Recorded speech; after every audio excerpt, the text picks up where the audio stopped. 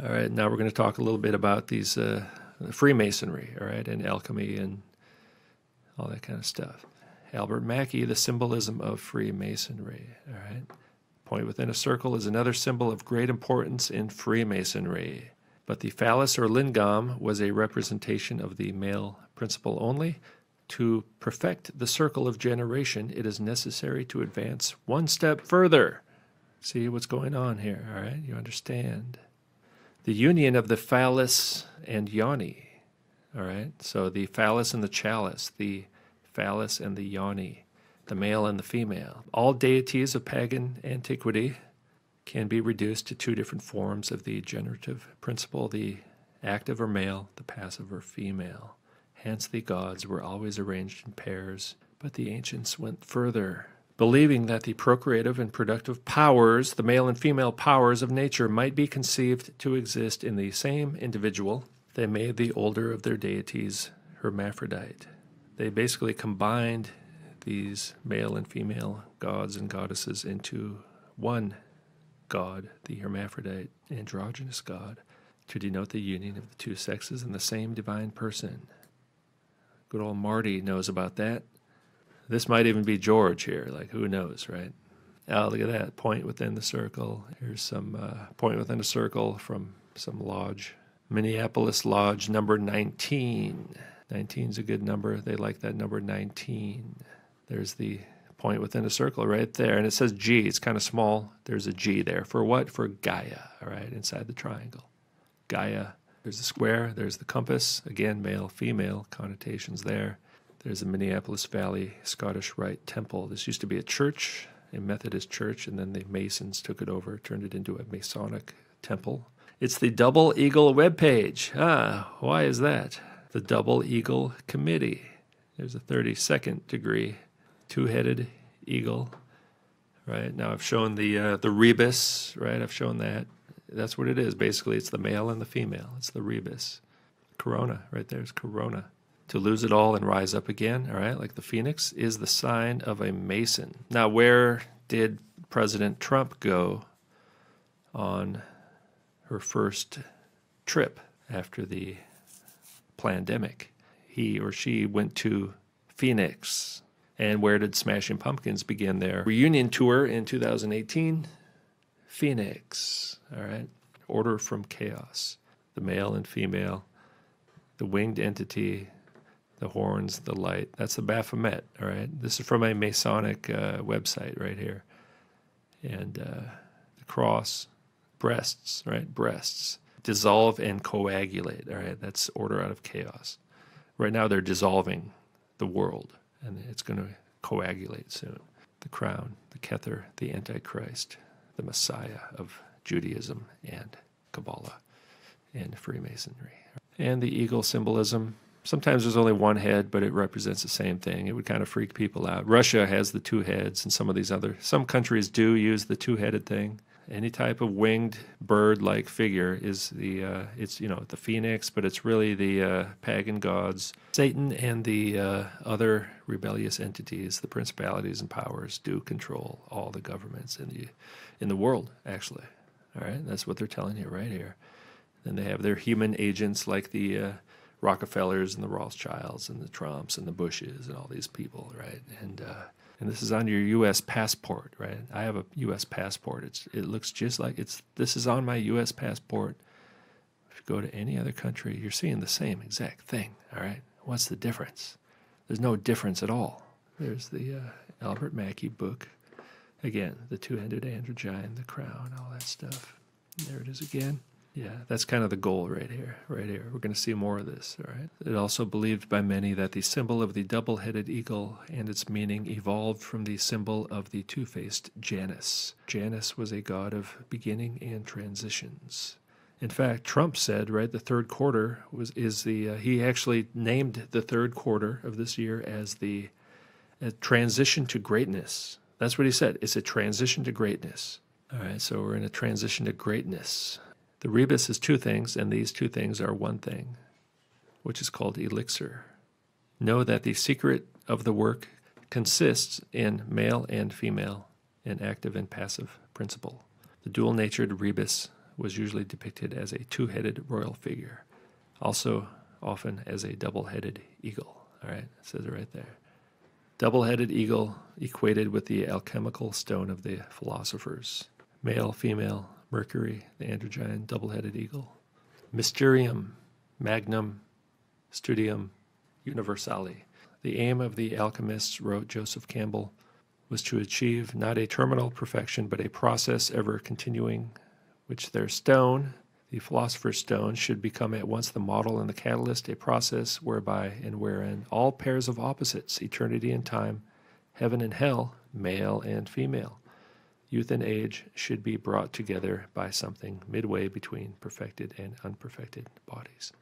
The double headed eagle, the alchemical rebus or stone of the philosophers, symbolizes this process, the magnum opus or great work of spiritual regeneration. Through its unification of opposites and association with alchemical fire, the path of regeneration and ascent up the tree of life is indicated.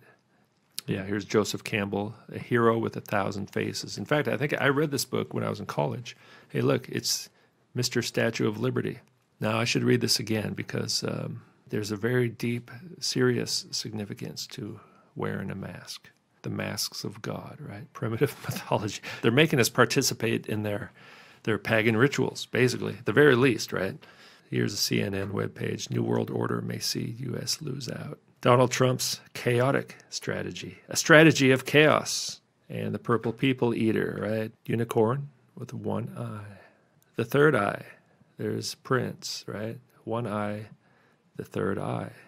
I mean, come on. And there's the old unicorn, right? Now, I do believe um, and this is controversial, but I, I believe Prince was male. Just you know, look at pictures of him. You can see his bone structure. He's walking around half naked most of the time, um, but he's so androgynous that he is. A, he always has been a transvestite. All right. Uh, there's the mask of God right there. Prince. That is Prince. All right. That's Prince. Now Prince dresses like a woman full time. All right. This is Prince. Faked his death. Pretends to be his sister with a bit of. Uh, prosthetics, right? They change the nose a little bit. This is basically it's a mask. It's a mask of God, all right? It's a mask of the pagan gods. Look at those glasses. Who wears glasses like that? Nobody. It's a wig, all right? Maybe uh, put on a few pounds even, but a lot of that's just uh, makeup. And he, I mean, the dude had a movie studio. He lived in a studio that it was a recording studio, but he also had a movie studio there as well. He's got all this kind of stuff, access to makeup and clothes and hair and costumes, basically, disguises. Look at the Bravo in there, man.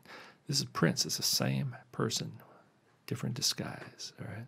Look at how androgynous he looks, right? That's why people think he's an FT. He's so androgynous that people think he's a woman. I think he's born male, all right? But so androgynous that, yes, he's a transvestite. He's always been androgynous, all right? And there's his androgynous wife, who is also born male. That's male to female, transgender Prince has always been a transvestite, right? There's the sign. What kind of sign were they telling people at the Super Bowl, right? One of the largest uh, pagan festivals in the world. And there's Prince with Mr. Beyonce with the shoulders. And again, Prince with Mr. Beyonce with the shoulders and the arm and the narrow pelvis and a mysterious bulge. And uh, look at this symbol. What is that? Look closely at the icon because there's a lot happening. Most obviously, it merges ancient symbols for man and women, creating a new sexual gender fluid one, ah, kind of like the people who work in the city hall in Minneapolis.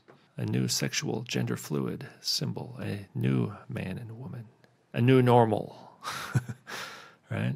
And then they uh, put that symbol at the Super Bowl. Look at that. It's right there in the Super Bowl derives from a combination of the symbols for both male and female. All right, second witness. Supposedly entered his consciousness during meditation. There's Minnesota, right? There's the purple people eaters, the purple rain, R E I G N. It all started back here. This video is kind of part two of the previous one. Governor of Minnesota, married to Mr. Rockefeller.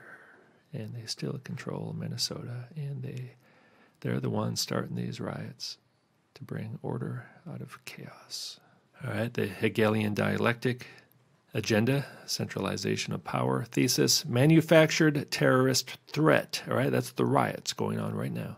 The common cold was turned into a manufactured terrorist threat. That's basically what they did. The seasonal flu was turned into a terrorist threat. Antithesis, repressive police state. Okay, we kind of had that already after 9 11, and it just continues to get worse to create a repressive police state. And they got all kinds of tricks up their sleeves. They're going to have more of these, right? And more of this. Synthesis, removal of freedoms. That's the Insurrection Act.